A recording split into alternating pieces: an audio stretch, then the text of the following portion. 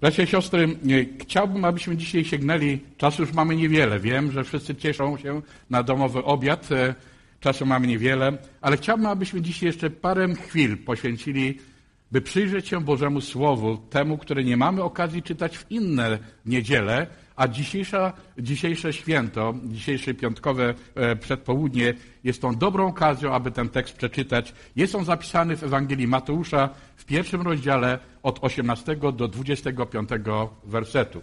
Ja nie wiem, czy wersety będą wyświetlane, czy nie będą wyświetlane, ale e, posłuchajmy.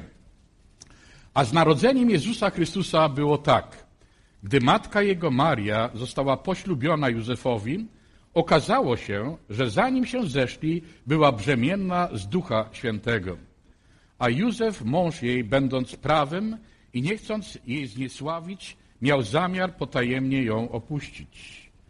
I gdy nad tym rozmyślał, oto ukazał mu się we śnie anioł pański rzekł. Józefie, synu Dawidowy, nie lękaj się przyjąć Marii, żony swojej, albowiem to, co się z niej poczęło, jest z Ducha Świętego a urodzi syna i nadasz mu imię Jezus, albowiem on zbawi lud swój od grzechów jego. A to wszystko się stało, aby się spełniło słowo pańskie wypowiedziane przez proroka. Oto Panna pocznie i porodzi syna i nazwą go i nadadzą mu imię Immanuel, co się wykłada Bóg z nami. A gdy Józef obudził się ze snu, uczynił mu tak, jak rozkazał anioł pański i przyjął żonę swoją, ale nie obcował z nią, dopóki nie powiła syna i nadał mu imię Jezus. Dwoje spośród czterech ewangelistów opisuje narodzenie Pana naszego Jezusa Chrystusa, Zbawiciela naszego. Każdy z nich, zarówno Łukasz, jak i Mateusz, zwracają uwagę na inne szczegóły tego wielkiego wydarzenia. Nie czytamy natomiast w Ewangeliach, że owe wielkie wydarzenie wiąże się z szałem zakupów, e, mnogością Mikołai w supermarketach, e, strojeniem domów, e, ulic lampionami, girlandami, pięknie zastawionym wigilijnym stołem, rodzinną atmosferą, prezentami pod choinką. O tym nie czytamy w Ewangelii. Ale wiąże się ona z miłością Bożą, o czym Ewangelie nas informują. Miłością Boga Ojca, który posyła na ciemny, żyjący w grzechu i beznadziei świat swego umiłowanego Syna, Jezusa Chrystusa. Więcej, Bóg posyła swego jedynego Syna na świat, który nie chciał e, go przyjąć i który ostatecznie go odrzucił i skazał na śmierć krzyżową. Bóg posłał swego Syna na świat, który okazał mu się zdecydowanie wrogi. Dlaczego więc Bóg to zrobił? Dlaczego Bóg posłał swego syna? Dlaczego to zrobił? Odpowiedź jest bardzo prosta, a pewnie wielu z nas tą odpowiedź zna. Bóg nie chce śmierci grzesznika, ale chce, by wszyscy ludzie byli zbawieni. Bóg przez wiarę Jezusa chce adoptować do swojej rodziny synów i córki ludzkie. W tym wrogim świecie, pełnym ciemności i grzechu, e, Bóg szuka ludzi, którzy przyjmą Jego Syna, którym dał prawo stać się dziećmi Bożymi. To jest tym, którzy wierzą w imię Jego. On chce wieczność spędzać właśnie z tymi, którzy zostali włączeni do Jego rodziny, nie tylko jako Jego dzieci, więcej, Uczynił ich dziedzicami Bożymi, współdziedzicami Chrystusa. Czyż to nie jest wspaniałe? Czyż to nie wspaniałe? O prawie stania się dzieckiem Bożym napisał apostoł, Pan, e, apostoł Jan. Tak zaczyna się Ewangelia Jana, o której, e, która pisze o Jezusie. Czytałem ten tekst wczoraj, na wczorajszej Wigilii. Na początku było Słowo, a Słowo było u Boga, a Bogiem było ono Słowo. I dalej. Na świecie był i świat przezeń powstał, lecz świat go nie poznał. Do swojej własności przyszedł, ale swoi go nie przyjęli. Tym zaś, którzy go przyjęli, dał prawo, dał prawo, dał prawo stać się dziećmi Bożymi, tym, którzy wierzą w imię Jego, którzy narodzili się nie z krwi, ani z cielesnej woli, ani z woli mężczyzny, lecz z Boga a słowo ciałem się stało i zamieszkało wśród nas i ujrzeliśmy chwałę Jego, chwałę, jaką ma jedyny Syn od Ojca, pełne łaski i prawdy. A więc ci, którzy Go nie poznają i nie przyjmują, ci ludzie nie znają Go jako swego osobistego Zbawiciela i w dalszym ciągu zbraniają się iść za Nim, bo przecież to nie jest popularna droga i niewielu ludzi chce poznać swego Pana. Jeden z najpopularniejszych chrześcijańskich apologetów i, e, i pisarzy naszego wieku, e, C.F. Lewis, napisał taką piękną sentencję. Posłuchajcie, jak ona brzmi. Syn Boży stał się synem człowieczym po to, by synowie ludzcy mogli się stać synami Bożymi. Czyż nie pięknie? Syn Boży stał się synem człowieczym po to, by synowie ludzcy mogli stać się synami Bożymi. Oto Syn Boży przybiera kształt człowieka, rodzi się w ludzkim ciele, staje się podobnym do każdego z nas. Przychodzi na świat jako bezradny niemowlę, zdane na pomoc i troskę swojej ziemskiej matki Marii i jej męża Józefa. To niezwykle dziwne, że Bóg wybiera na rodziców i wychowawców swego syna Jezusa Chrystusa takich właśnie ludzi. Maria bowiem była bardzo młodą dziewczyną, jeszcze dziewicą, która, gdy dowiaduje się od anioła, iż ma być matką i urodzić Syna Bożego, ze zdziwieniem stwierdza, jakże to się może stać, skoro nie znam męża. Oczywiście Maria w tym czasie była już poślubiona Józefowi, ale według zwyczajów tamtego czasu nie miała jeszcze prawa obcować ze swoim przyszłym mężem. Owe poślubienie to taki okres, jaki my znamy jako narzeczeństwo. Józef z kolei przedstawiony jest w Biblii jako mąż sprawiedliwy. Tych ludzi w Izraelu nazywano cadykami. Cechowali się nienaganną opinią moralną i uchodzili za wzór godny naśladowania. Józef miał, jak czytaliśmy, wielki problem. Oto jego narzeczona Maria była brzemienna, a on doskonale wiedział, że to nie on jest ojcem dziecka, które miało przyjść na świat i że dziecko urodzi się, jak to dzisiaj mówimy, jako nieślubne dziecko. Ten fakt zupełnie podważyłby jego opinię jako sprawiedliwego. To wręcz zburzyłoby dotychczasową nienaganną opinię jako człowieku sprawiedliwym. Również dla Marii ta sytuacja z punktu widzenia prawa była bardzo niebezpieczną. Nieślubne dziecko zniesławiało kobietę. Izraelu uznawano taką kobietę za cudzołożnicę i taką należało ukamienować. Myślę, że również Maria nie miałaby wystarczających argumentów, by przekonać swego narzeczonego o swojej niewinności, gdyby nie inter, in, interwencja, ingerencja Ducha Świętego. Józef, kochając Marię, nie chciał jej zniesławić i zamierzał potajemnie ją opuścić. Z ludzkiego punktu widzenia być może to byłoby i dla Marii, i dla Józefa jakieś rozwiązanie.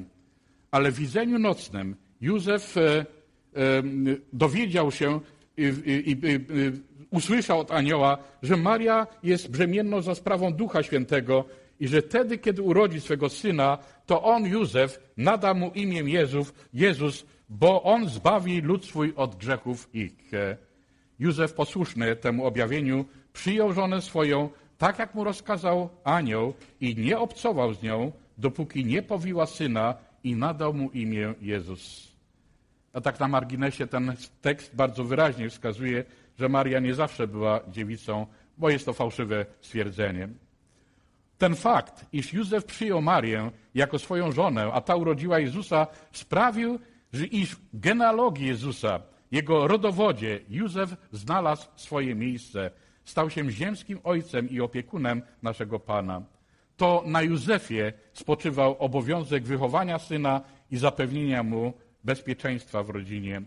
Właśnie Józefowi wkrótce potem ukazał się anioł pański, by ostrzec go przed zamiarem zgładzenia Jezusa przez Heroda. Józef miał wziąć dziecię oraz matkę oraz i uciec do Egiptu. Tymczasem Herod, jak czytamy w Ewangelii, który z pozoru chciał również powitać i złożyć hołd nowonarodzonemu królowi żydowskiemu, zazdrosny o swoją władzę, posunął się do okropnej e, zbrodni, każąc wymordować okolic Betlejemu wszystkie dzieci do dwóch lat i młodsze, sądząc, że zgładzi w tej liczbie również i samego Jezusa. Według historyka żydowskiego Flawiusza zginęło wówczas około 2000 niemowląt i dzieci. Czego bał się Herod? Czego bał się Herod? Bał się, mówiąc językiem Ewangelii, tego, że ciało, że słowo ciałem się stało. I diabeł nie boi się ludzi, którzy nie znają słowa, ale boi się tych, którzy, dla których słowo staje się ciałem. Tak się dzieje aż do dnia dzisiejszego. Jeśli Chrystus staje się słowem dla człowieka, a człowiek wciela słowo Boga swoje, swoje życie, staje się wtedy wrogiem i przeciwnikiem przeciwnika Bożego. Taki będzie prześladowany, taki musi być gotowy umrzeć dla sprawy Chrystusowej.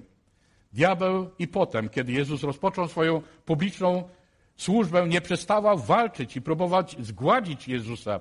Ileż to razy czytamy w Ewangeliach, że poprzez swoich ludzi diabeł chciał pozbawić życia naszego Pana, by nie dopuścić do wykonania Bożego planu odkupieńczej śmierci Jezusa na krzyżu. Jak dzisiaj spostrzegamy Boże Narodzenie? Współcześnie obraz narodzin Jezusa jest dość sielankowym obrazem i to musimy wszyscy przyznać. Nawet w chleb, w którym urodził się Jezus, pieszczotliwie jest zwany stajenką. Miłe zwierzątka, niczym nie przypominające cuchnące łajnem i swoistym smrodem bydła i owiec. Nie jestem nawet pewny, czy pierwsi goście, to znaczy pasterze z pół betlejemskich, mieli czas wykąpać się, ubrać się w świąteczne szaty, by pójść na spotkanie króla królów. Ci próbowali potem głośno mówić o nowonarodzonym Zbawicielu, ale kto daje posłuch takim zwykłym pastuchom? Gdy król Herod usłyszał o nowonarodzonym żydowskim królu, jest napisane, że zatworzył się, a z nim cała Jerozolima. Rozpoczęła się walka, która z okręgów niebieskich przeniosła się na ziemię. Ten współczesny obraz narodzin Jezusa, owej miłej, spokojnej, cichej atmosfery, jaka panuje nad stajenką, zakłóca jednak nieczęsto wspomniany okrutny obraz pomordowanych dzieci, płaczących matek, owego terroru i sianego strachu ze strony Heroda. Nie wiem, bracia i siostry, czy ktokolwiek z Was otrzymał na święta, choćby te święta, kartkę właśnie z takim widokiem pomordowanych małych dzieci, małych istot z napisem Wesołych Świąt. Otrzymaliście takie kartki? A przecież taka sceneria towarzyszyła narodzinom Jezusa Chrystusa. Wydaje się, że nikt z bohaterów sceny bożonarodzonowej nie przewidział takiego okrutnego scenariusza. Tym bardziej nikt nie przewidział, iż ten, który narodził się Betlejem jako król żydowski, zostanie kiedyś wydany przez swój lud i skazany na śmierć, że zawiśnie na krzyżu. Pewnie ani pasuszkowie, ani mędrcy ze schodu, ani nawet Józef z Marią nie przewidywali takiego, e, takiego scenariusza, iż to nowe narodzone dziecię Jezus kiedyś umrze na krzyżu za grzechy świata. Ostatnio w tymże bodajże roku bardzo popularna stała się kolenda, którą może jeszcze nie znamy. Mario, czy słyszałaś? Czy słyszałaś, co będzie czynił twój syn? Jak zginie? To jest piękna kolekta, e, kolenda. E, I e, Maria pewnie nie zdawała sobie sprawy z tego, co czeka jego, jego syna. Fakt, że anioł zapowiedział, iż Jezus zbawi swój lud od grzechów i dokona jego odkupienia, ale któż mógł się spodziewać, że zrobi to przez swoją haniebną śmierć na krzyżu Golgoty? Blade światło na dorosłe życie Jezusa Chrystusa jest jedynie w proroctwie które wypowiedział stary Symeon, człowiek sprawiedliwy, bogobojny, oczekujący pociechy Izraela. Ten świątyni w czasie poświęcenia Jezusa wyrzekł, wyrzekł prorocze słowa do Marii, matki Jezusa. Powiedział tak, oto ten przeznaczony jest, aby przezeń upadło i powstało w Izraelu.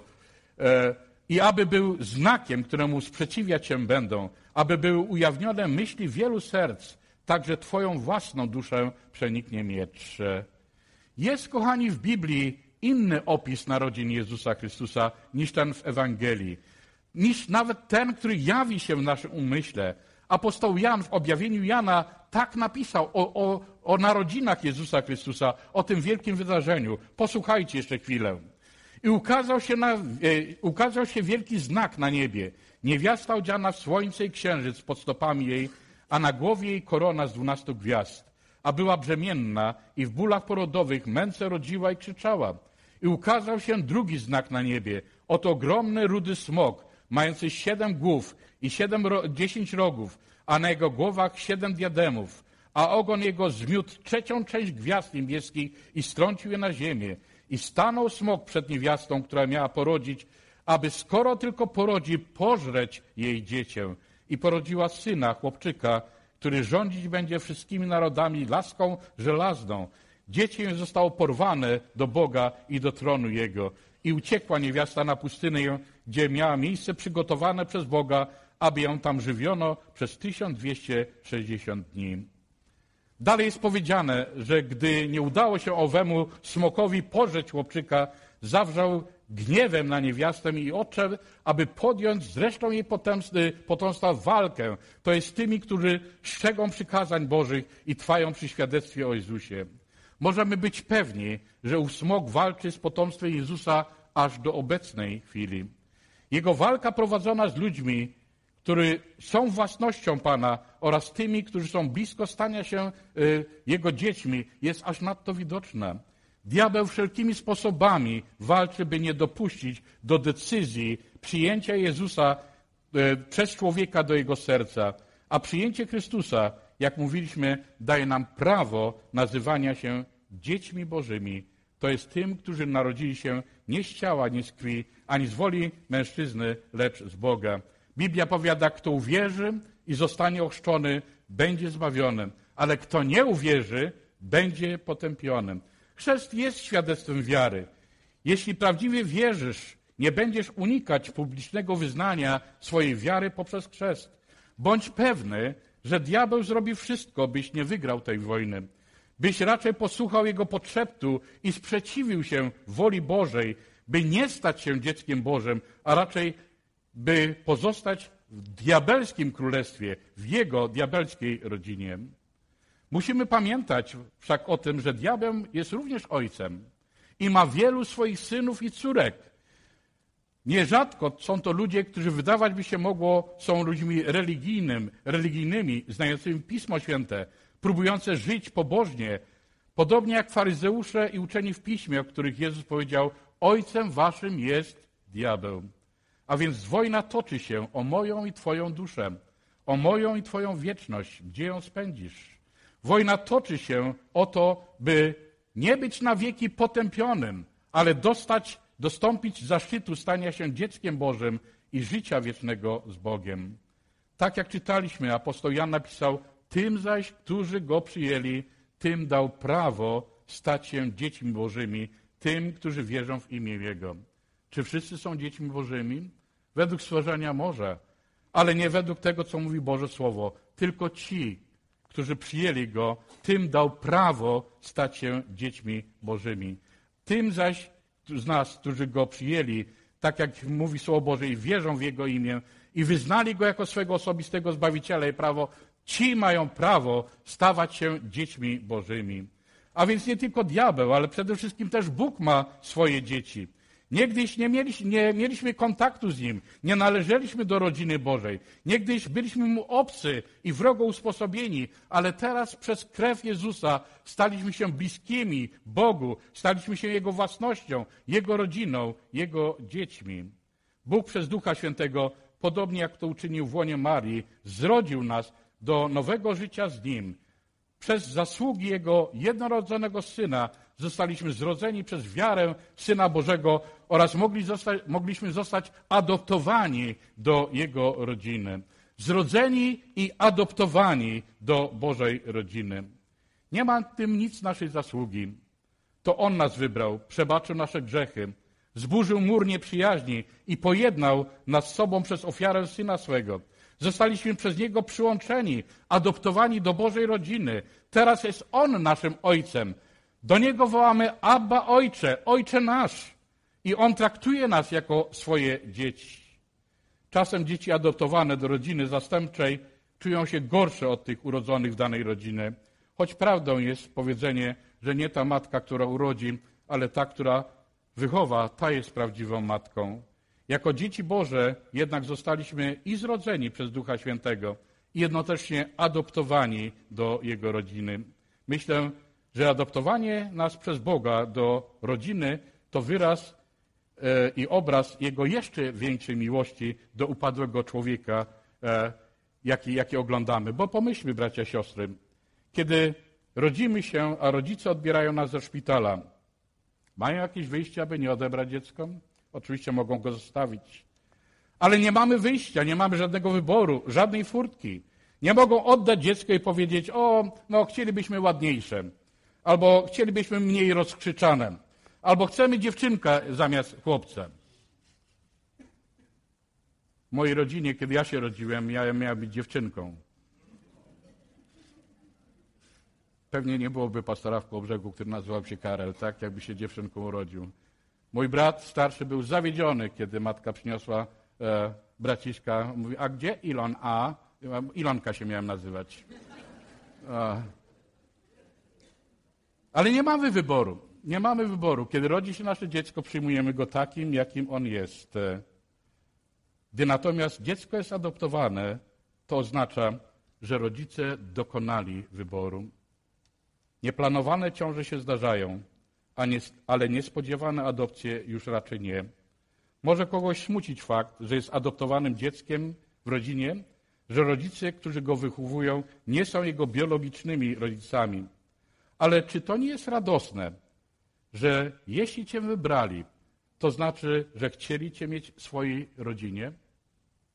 Co więcej, pomyśl, gdyby twoi rodzice widzieli twoje przyszłe życie, życie jako dziecka, jak ono będzie wyglądać, ile sprawi kłopotu, na kogo wyrośnie, jak będzie się odwdzięczał, czy wtedy nie zmieniliby zdania? A Bóg widział całe nasze życie, od początku do końca, od narodzin do śmierci, a pomimo tego zobaczył i nadal był przekonany, aby nas adoptować, przyjąć nas takim, jakim jesteśmy. Nie rozumiem tej łaski Boga. Kiedy patrzę na własne życie, nie rozumiem, jak Bóg chciał adoptować takiego łotra, takiego grzesznika, takiego człowieka, który, którym byłem i może jestem. Ale on miał swoją wielką miłość. I to jest ta Boża łaska. I taką łaską Bóg chce dzisiaj okazać każdemu, kto do Niego się zbliża. Apostoł Paweł napisał Bogu tak, w Nim, to znaczy w Chrystusie, bowiem wybrał nas przed założeniem świata, abyśmy byli święci i nienagani przed obliczem Jego miłości. Przeznaczył nas do synostwa przez Jezusa Chrystusa według upodobania woli swojej. Co więcej, według odwiecznego postanowienia, które wykonał w Chrystusie Jezusie, On jest naszym Panem i mamy swobodę i dostęp do Boga z ufnością przez wiarę w Niego. I jak pisze apostoł Paweł w liście do Efezja, wszak nie wzięliście ducha niewoli, by znowu w bojaźni ulegać, e, lecz wzięliście ducha synostwa, którym wołamy Abba Ojcze. Ten to duch świadczy zespół z duchem naszym, że dziećmi Bożymi jesteśmy. A jeśli dziećmi, to dziedzicami, dziedzicami Bożymi, a współdziedzicami Chrystusa, jeśli tylko razem z Nim cierpimy, abyśmy razem z Nim byli uwielbieni. Bez względu na to, co robisz, kim jesteś, Bóg chce traktować cię jako swego syna, jako swoją córkę. To tak, jakby codziennie mówił: Moje dziecko, ja chcę cię mieć w swoim królestwie. Odkupiłem cię. Transakcja jest uzgodniona, sprawa jest załatwiona. Ja, Bóg, dokonałem wyboru. Wybrałem ciebie jako część mojej rodziny. Czyż to nie wspaniałe przesłanie? Bóg wybiera nas jako część swojej rodziny.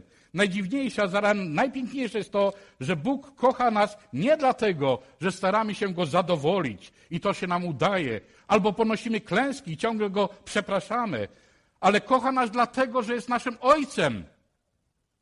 Nic więcej. Adopcja z Jego strony jest nieodwracalna.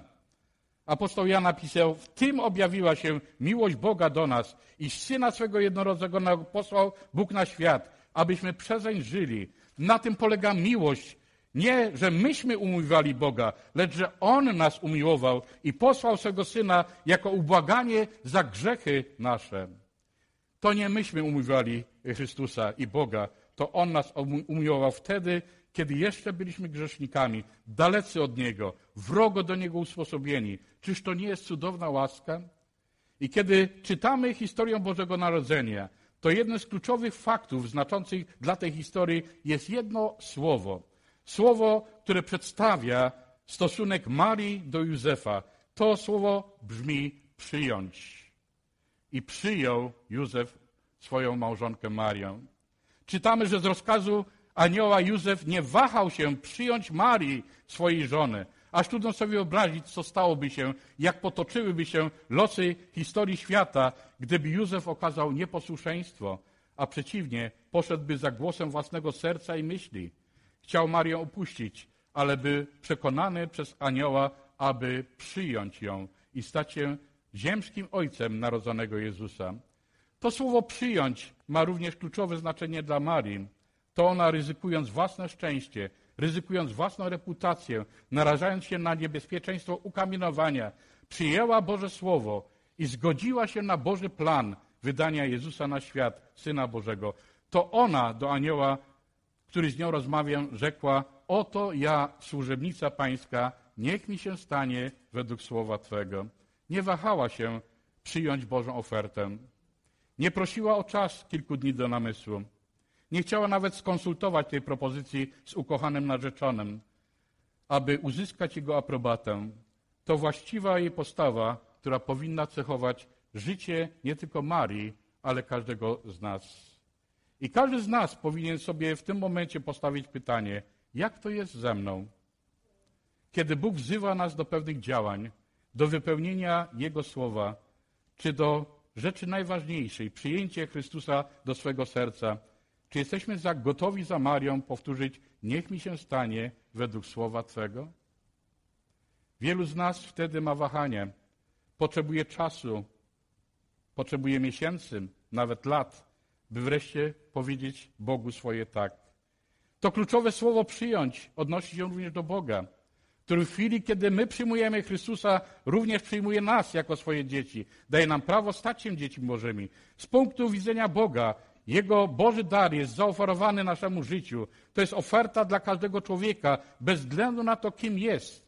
Ale tylko od nas zależy, czy ten dar zechcemy przyjąć, czy też odrzucić. Niestety wielu go odrzuca.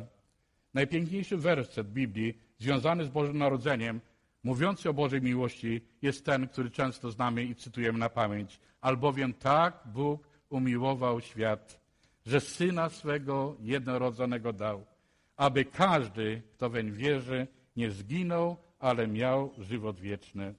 Popatrzmy, Bóg tak umiłował świat. Umiłował świat, Bóg dał. To, co leży po Bożej stronie, zostało wykonane. Człowiekowi pozostaje wierzyć i mieć. Wierzyć Syna Bożego i mieć żywot wieczny. By mieć, trzeba uwierzyć, to znaczy zaufać Bogu, to znaczy okazać Mu posłuszeństwo, to znaczy przyjąć Go, by mieć prawo stania się dzieckiem Bożym. Czy ten dar już przyjąłeś? Wiecie, kiedy dzisiaj Masza, już dorastająca młodzież, e, pytała różnych ludzi na sali, jak to się stało, kto był twoją gwiazdą przewodnią, czy przyjąłeś Jezusa Chrystusa, to wierzę, że niektórym zaczął się palić pod e, siedzeniem. A jak tak do mnie przyjdzie i zapyta, co wtedy powiem? Wtedy powiem, chodzę już 20 lat do zboru i nic. Przyjmij Boży dar. Ten Boży dar jest dla Ciebie. Dziś masz tą okazję. Nasze nabożeństwo za 3-4 minuty będzie zakończone. Ale chciałbym jeszcze, abyśmy się wspólnie razem pomodlili. A może to jest ten czas, w którym Ty powinieneś przyjąć Jezusa? Może jest ten czas, kiedy ta gwiazda betlejemska zatrzymuje się nad Twoim domem. Wejdź, zobacz. Ten dar jest dla ciebie. Czy chcesz go odrzucać? Powstańmy może do wspólnej modlitwy. Ja wiem, że wszyscy myślimy o świętach. O tym, co dzisiaj na obiad i to, co będziemy robić dalej. Ale z całą pewnością chcę Ci powiedzieć, że Bóg usilnie stara się zaoferować Tobie Jego najcenniejszy dar Jezusa Chrystusa. Może i dzisiaj poprzez Boże Słowo Bóg wskazywał Ci gwiazdą, gdzie Go znaleźć. Musisz przyjść do Niego. Zrób dla Niego miejsce. Dla Niego było miejsce w Gospodzie, ale On chce być w Twoim sercu. Jeśli dzisiaj też chcesz powiedzieć, Panie, tyle lat słyszę Ewangelię. Zostałem wychowany przez rodziców, którzy prowadzili mnie od samego początku do tego zboru. Albo przez kogoś przyprowadzony jestem tu już bardzo długo, ale nigdy nie zaprosiłem Cię do swego serca, to chcę to uczynić dzisiaj. Świat dzisiaj szaleje. Świat dzisiaj będzie cieszył się tylko pokarmami, ale Ty możesz cieszyć się chlebem żywota. Czy zechciałbyś go dzisiaj przyjąć?